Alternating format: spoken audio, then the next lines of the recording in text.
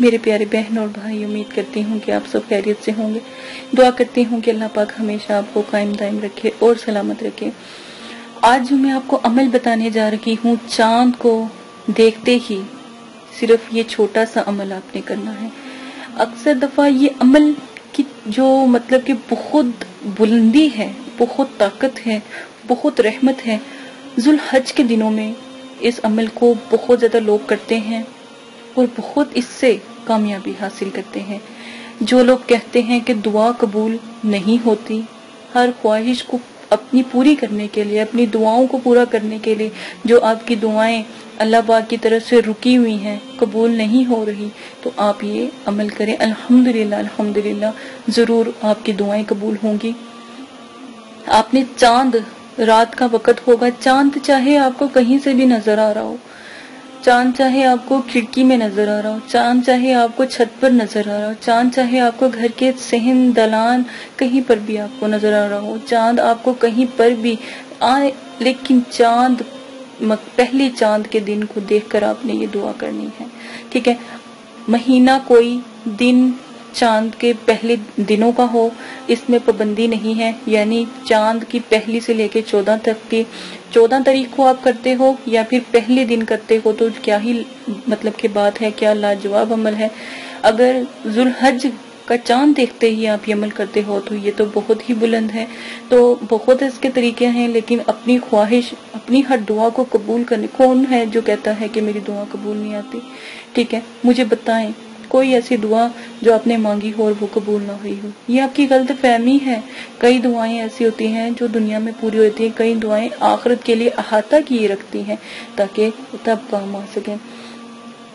جو بھی دعا ہے، کیسی بھی خواہش ہے، بے شک پڑھائی کی، کھانے کی، رزق کی، کاروبار کی، شادی کی کوئی بھی خواہش ہے، کسی بھی دعا کو قبول کروانا ہے، تو سب سے پہلے آپ نے درود شریف گیارہ مرتبہ درود ابراہیمی درود شریف گیارہ مرتبہ درمیان میں پڑھنا کیا ہے اللہ ہو اللہ ہو اللہ ہو صرف ایک تسبیح یا تینتیس مرتبہ آخر میں گیارہ مرتبہ درود شریف پڑھ کر جو بھی دعا چاند کی طرف چہرہ کر کے مانگو گے آپ کا چہرہ نور سے جب منور ہوگا دعائیں قبول ہو جائیں گی۔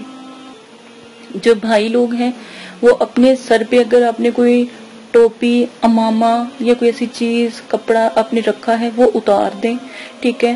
ننگے سر آپ نے دعا کرنی ہے۔ اگر بہنیں ہیں تو لبادہ اوڑ کے بابرکت طریقے سے آپ جو ہے دعا کریں۔ الحمدللہ الحمدللہ، ہر خواہش۔ پوری ہوگی۔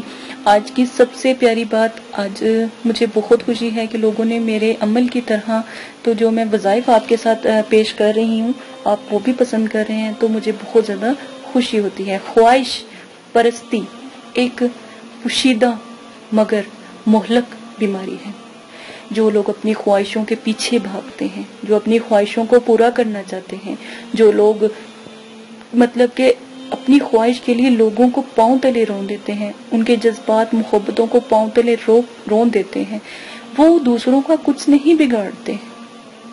جھکتا وہی ہے، درخت جس کو مطلب کہ درخت وہی جھکتا ہے، ٹھیک ہے؟ اس کو، جس کو پھل لگا ہو۔ آپ نے آم کے درخت کو دیکھا ہوگا، کس طرح لدا ہوتا ہے اور کس طرح جھکا ہوتا ہے۔ کبھی سفیدے کے درخت کو دیکھا ہے؟ کس طرح اکڑ کے کھڑا ہوتا ہے۔ لیکن جو جھکتا ہے، پھل اس کو ہی لگتا ہے۔ تو آپ ہی سے یہی گزارش ہے کہ اپنے آس پاس یہاں تک کہ نیچے قدم پھونک کر دیکھ کر چلو۔ کہیں چوٹی کو بھی تو نہیں مار رہے۔ اتنا اپنی خواہشوں کو ختم کر دو کہ آپ جب آپ چلو تو آپ کو یہ ڈر لگا رہے کہ میں نے کسی چوٹی کو تو نہیں مار دیا۔ اتنا جھکو اتنا جھکو، خود بخود پھل لگتا ہوا آپ دیکھو گے۔ رزق میں برکت، کاروبار میں برکت، الحمدللہ ضرور آپ کو اللہ پاک عطا کریں گے۔ کوئی بیماری، کوئی تکلیف، دکھ تکلیف آپ کے گھر میں داخل نہیں ہو سکتی۔ اللہ کی رحمت سے نا امید نہ ہو میرے پیارے بہنوں اور بھائیوں۔ اللہ کی رحمت بہت بلند ہے۔ جو لوگ بھی پانا چاہتا ہے میرے ان وظائف سے آپ اللہ کی رحمت کو پا سکتے ہو۔ پڑھ سکتے ہو۔ مشکل وقت میں الحمدللہ یہ آپ کے ساتھ ہوں گے اور مشکل وقت میں یہ آپ کو سہارا دیں گے۔ اسی کے ساتھ اجازت دیں، اپنا خیال رکھیے گا۔ دعاؤں کو قبول کا بہت پیارا وظیفہ ہے۔ اگر آپ کو میرا وظیفہ یہ پسند آتا ہے، آپ سے گزارش کی جاتی ہے کہ لوگوں تک شیئر کریں۔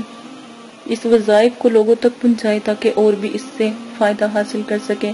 اور بھی بہت سی لوگوں کی خواہشیں محبتیں چاہتے ہوتی ہیں۔ ان کے اوپر بھی اللہ پاک رحمت اور کرم اور برکات کریں ان وظیفوں کے وسائل سے۔ تو اجازت دیں، اپنا خیال رکھیے گا۔ اللہ حافظ۔